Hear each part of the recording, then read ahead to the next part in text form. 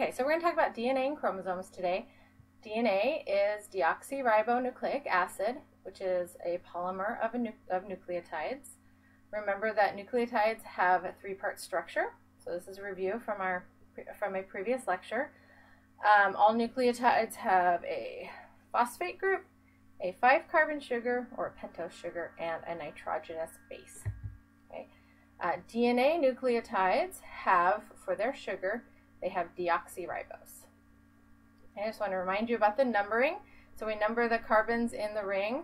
Um, the first carbon to the right of the oxygen in the ring is carbon 1. Okay, and when we are using doing nucleotides and the, the 5 carbon sugar in that, we use the 1 and then the prime. We add that little prime. Okay, so this is carbon 1 prime. Um, carbon 1 prime always has the nitrogenous base attached to it. This is carbon 2 prime, and this is the one where there's a difference between um, o, uh, ribose and deoxyribose. If it's ribose, then it's going to have an OH group, and if it's just uh, if it's deoxyribose, it'll just have that hydrogen. The 3 prime has an OH group hanging down. The 4 prime um, carbon is the last carbon in the ring, and then the 5 prime carbon has the phosphate group attached. Okay, there are four DNA nucleotides, and they are all named for the base that they have. And that's because, remember, the phosphate group and the sugar are the same, and only the base is different. Okay, so this particular base is called adenine. Okay, and then that also gives this nucleotide its name. We call this adenine. Okay. Um, because the phosphate and the sugar stay the same um, for all of the nucleotides, we end up just referring to this as a base and just calling it adenine or A. Okay, here's guanine, and here's the base um, that gives it its name. So this is guanine. Phosphate and sugar are the same. Here's cytosine, and that's the base part that gives it its name. And then finally there's thymine, same thing. Um, so I don't expect you guys to um, be able to draw these um, or be able to even tell me the specific differences between adenine and guanine or cytosine and thymine.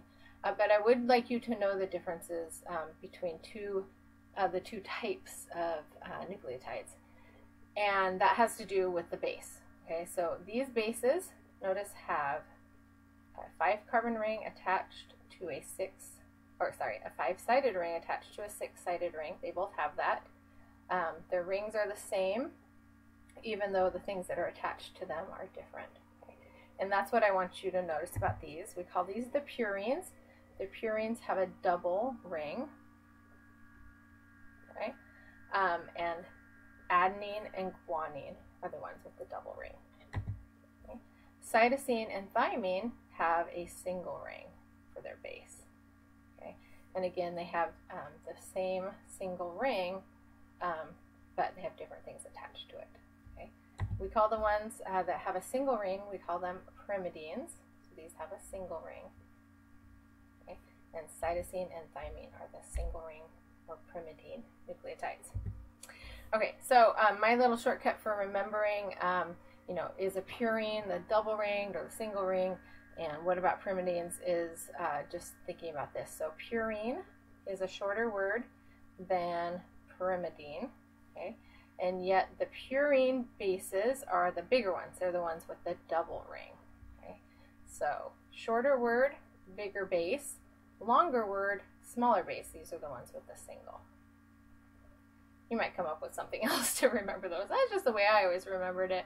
Um, and then you just have to straight up remember that adenine and guanine are the purines that have a double ring, and cytosine and uh, thymine are the pyrimidines that have a single ring. Okay, and then these are all attached to each other um, via dehydration synthesis. And that's what this is showing here. It should look familiar. Um, we're going to add in here uh, the numbering on all of the carbons.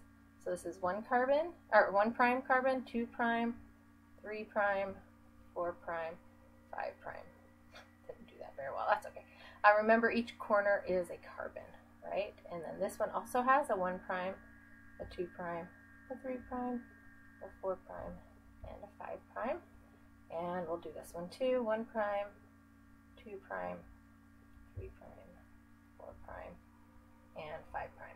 Okay, so every nucleotide has um, all of these, and you could think of it as having a, a 3 prime end and a 5 prime end. So the every nucleotide has that, and also the whole nucleic acid strand has that. Okay, why is that even important to know? Um, well, it's because of how they're connected together. Okay, so when a new nucleotide is being added to a growing strand, say you're building uh, DNA, um, the OH group on the three prime carbon and the hydrogen off of the phosphate group are pulled off and they go and make water, right? And then a new bond is made between this carbon and this oxygen. And that's the same as this bond here. Okay, and then it links together the nucleotides. That's called a phosphodiester bond. Um, and the enzyme that does this is called DNA polymerase.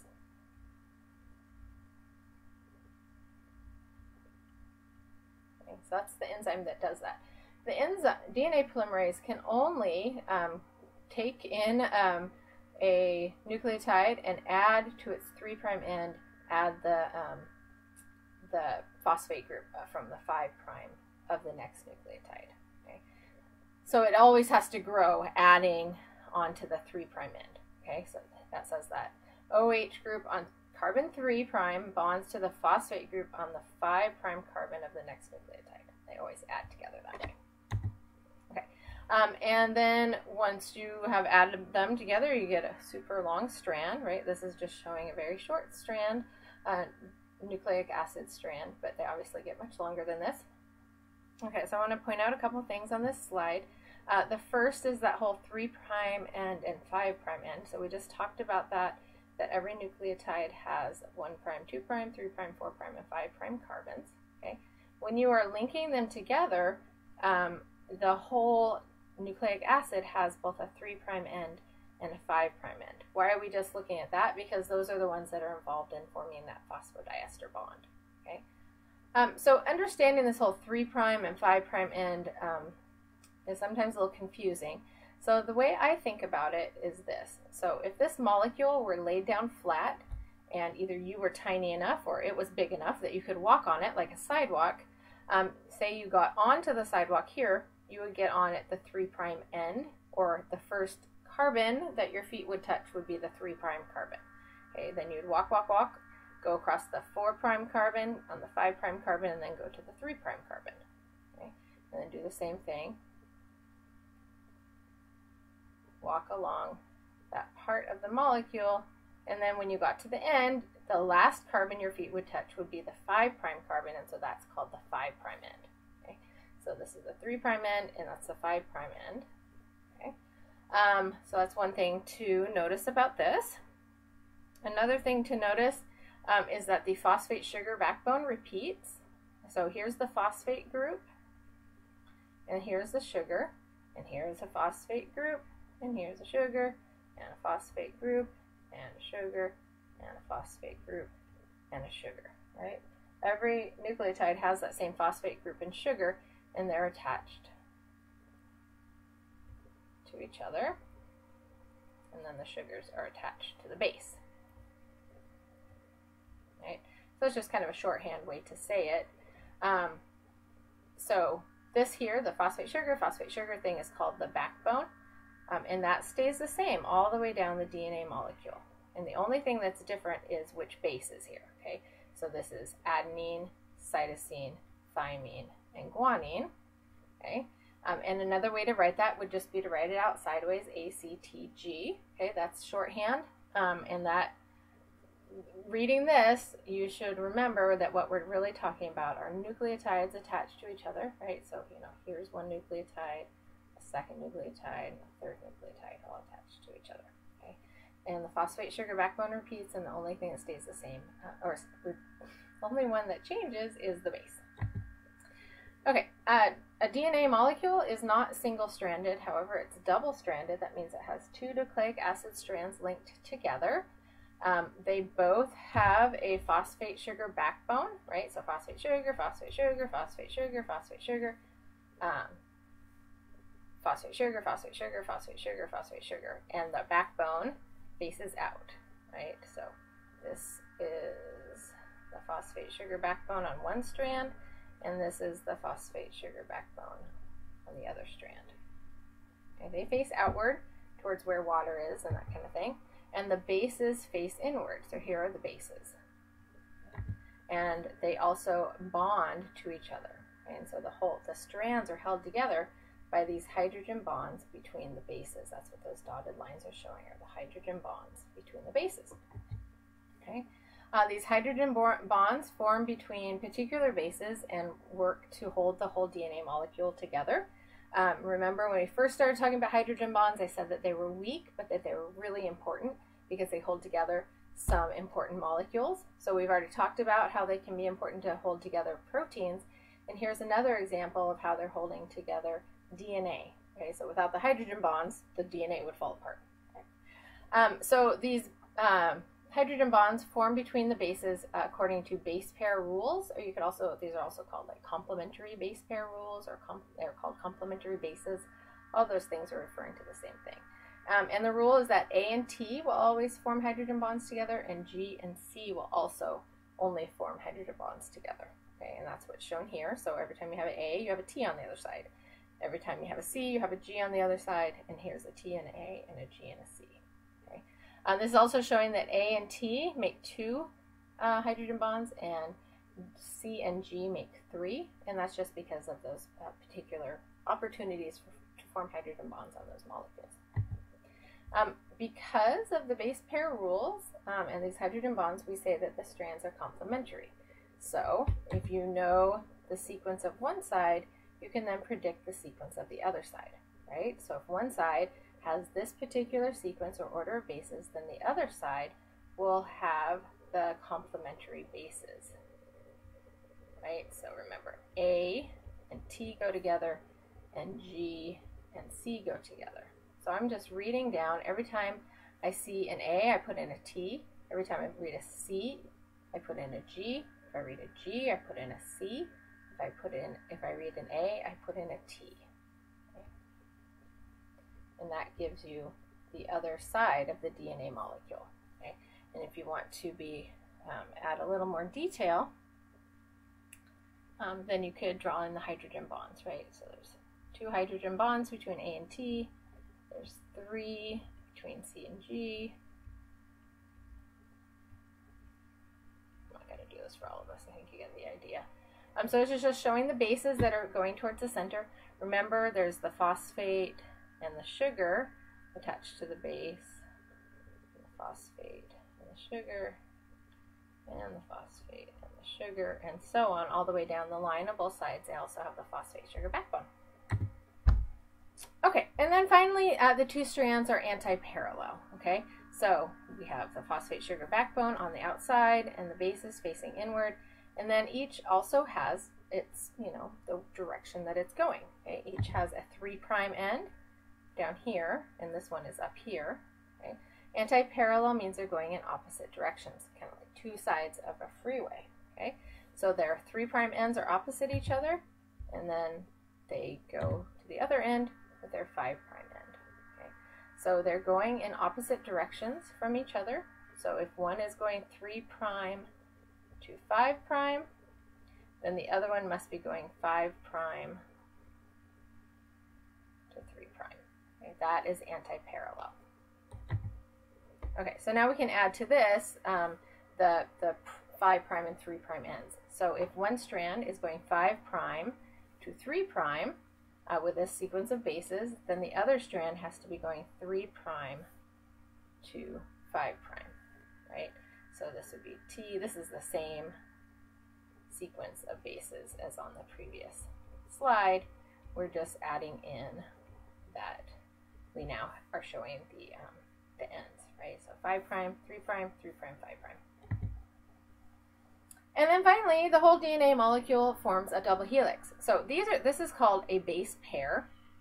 Oops, I didn't quite do that. Um, this include the phosphate groups is called a base pair.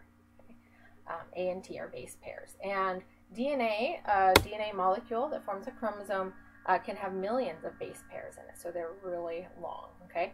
And then they form um, a double helix. Um, in other words, they are wrapped up together, okay? Um, they're kind of twisted. So one way you could think of this um, is as a ladder. Okay, with this is one side of the ladder, and this is the other side of the ladder, and then the bases form the rungs. That's the part that you put your feet on. Okay, so there's a ladder. Okay, and I think it's gonna get rid of this for you. No, come on.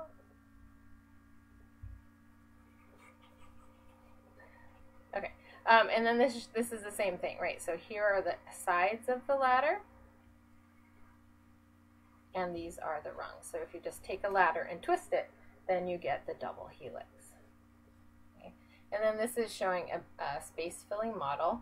These outside parts are the um, or the phosphate sugar backbone form the outside parts, and then the bases form the rungs. Okay. We have a model of this that you can look at in the classroom as well. Okay. DNA molecules uh, are then organized into what are called chromosomes. Okay, so essentially, a DNA molecule and a chromosome are essentially the same thing, um, but you could have a DNA molecule that's not a chromosome. So a chromosome has proteins associated with it. One of the types of proteins that it has associated with it are called histone proteins.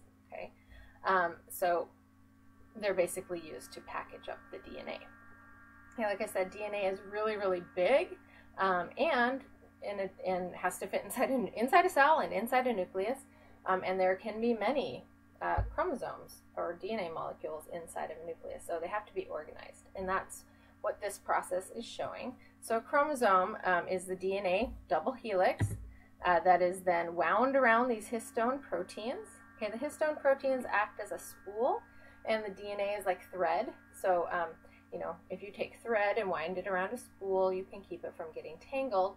But if you just put a pile of thread someplace, it's going to get all tangled, right? And the same would be true of the DNA. So the histone proteins help keep it organized and untangled um, and allow the cell to move it around during um, cell division. So it's wrapped around the histone proteins, and then that is wound up even more, and then those are wound up even more. Okay, so there's multiple levels of packaging that then allow this chromosome to be squeezed down into what's called a condensed chromosome or completely folded.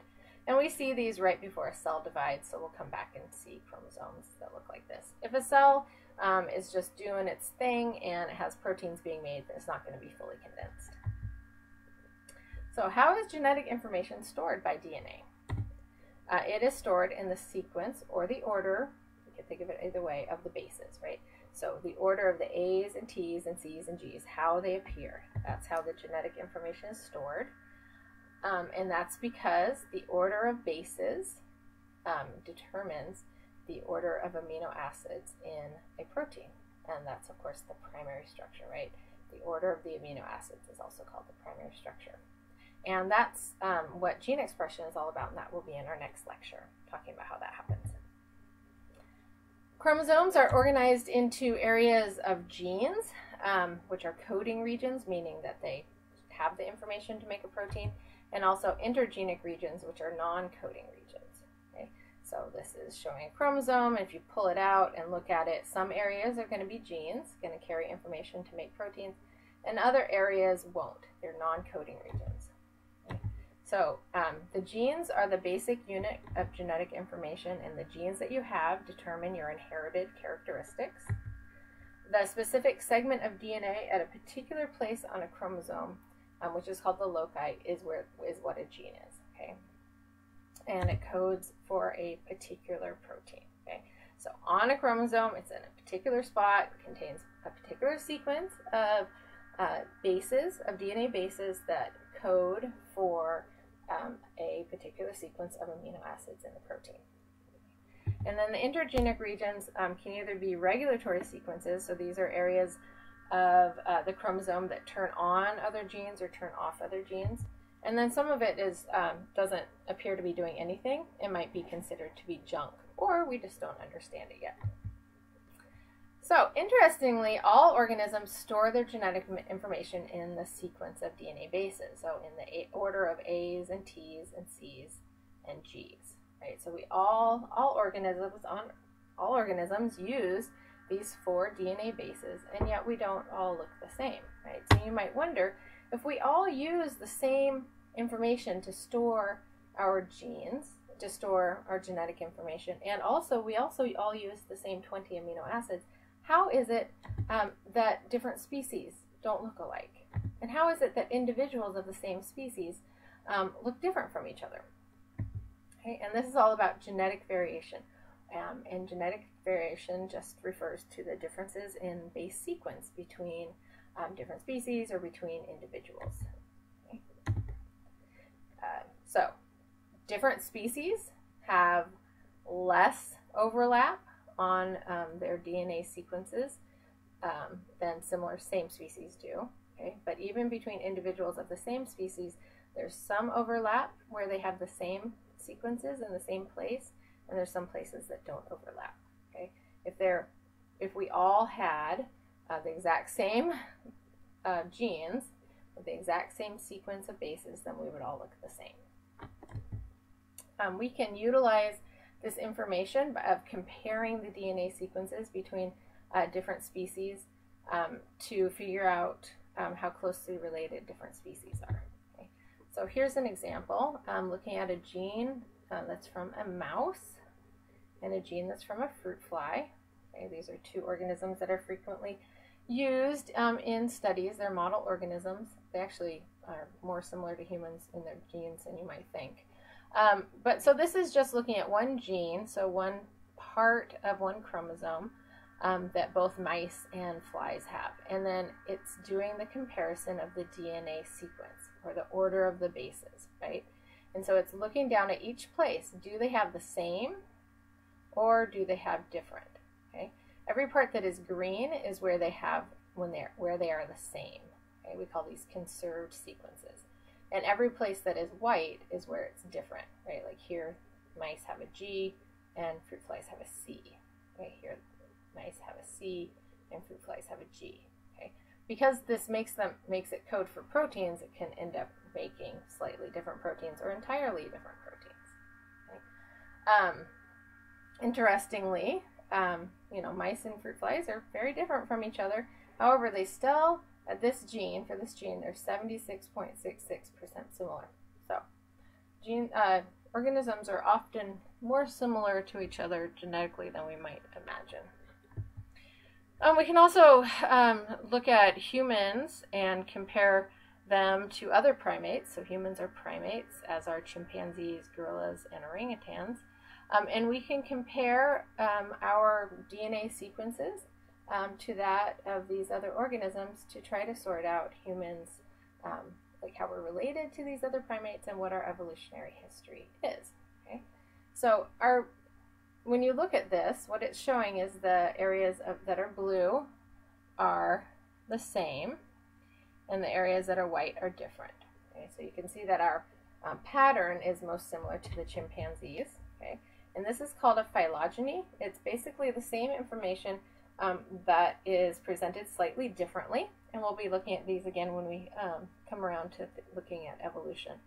Um, but what this is showing is because humans and chimpanzees have the same, what's called a node, that means they evolved from a common ancestor, and that common ancestor had this in common.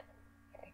Um, there are differences, right? Even though there's a lot of commonalities, there are a lot of there are differences too. Uh, that's why we're different from um, chimpanzees, right?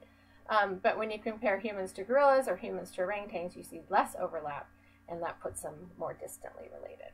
Okay, um, so we can use this kind of information, the sequencing of uh, chromosomes, figuring out what the order of bases is in it, and then comparing between different species, and also between individuals of the same species. So all organisms have DNA, and DNA um, is stored as like a chromosome inside of cells. So therefore, all cells have chromosomes. Um, prokaryotic cells, remember those are the single-celled organisms like bacteria and um, archaea, have a single circular chromosome. Okay, uh, It's still made out of the same nucleotides, um, and it's uh, the information is still stored in the sequence of bases, but the structure is slightly different. So it's one and it's circular. And remember, it's not in the nucleus. Uh, eukaryotic cells are a little different. They still have the same DNA, right? Same four bases and all that. Um, but we have uh, linear chromosomes and multiple linear chromosomes, so not just one. Okay? And then they're all squeezed into the nucleus. Okay? And this is just showing that packaging. So it has to be packaged in order to fit into the nucleus. All right. So we all have uh, DNA, we all have chromosomes, we all have genes on our chromosomes, um, but the number of genes, which is shown here in the, the black, and the uh, number of, sorry, the number of chromosomes is shown in the black, and the number of genes is shown here, um, differs according to the species. Okay, so different species um, have, oops, ignore that for a second. different species have a characteristic number of chromosomes, right? So E. coli is a prokaryote; it has one chromosome, and on that chromosome it has a little bit over 4,000 genes. Fruit flies have eight chromosomes, chickens have 78, humans have 46, and a grape plant has 38. Okay, so you can see um, that there's not a correlation between number of chromosomes and intelligence or complexity, because definitely humans are a lot smarter than chickens, and I know that because I have chickens and they're not very smart. Um, uh, but there's also not a correlation between number of genes and complexity, right? Because grape plants have more genes than do humans. So it was actually surprising when people were first able to kind of figure out how many genes um, different organisms had. There was an assumption that people would have the most, but they don't. Um, but one thing is true is that uh, the number of chromosomes is the same in all cells of the organism. Okay, so all cells in the fruit fly have eight chromosomes and also all the genes are present in each one of the cells. So there's also 14,889 genes in each cell. Okay, same for humans. Every cell, um, except for eggs and sperm, which we'll talk about later, have 46 chromosomes, and there are the 2,000 or 22,333. Okay, but multicellular organisms have cell types that are different, right? Um, so humans, you know, we have um, nervous system cells, brain cells, and nerve cells. We have blood system cells like red blood cells and white blood blood cells and that kind of thing. Eh. Um, and muscle cells. And the, the cells express different genes and do different jobs and look different. And that's all from cell differentiation, okay? Um, which is the process where a cell goes from being um, able to be anything, basically, to um, to being very specialized. So cell differentiation is also cell specialization. Um, but we maintain the same number of chromosomes and the same number of genes. Okay? So um, a muscle cell uh, will only have muscle genes being expressed, but it will still have all those other genes there that are present. They're just shut down. They're not being expressed. Okay, so and during the process of cell differentiation, which happens in very early embryonic development, um, cells become destined to become different types and they have genes that are turned on and some genes that are turned off.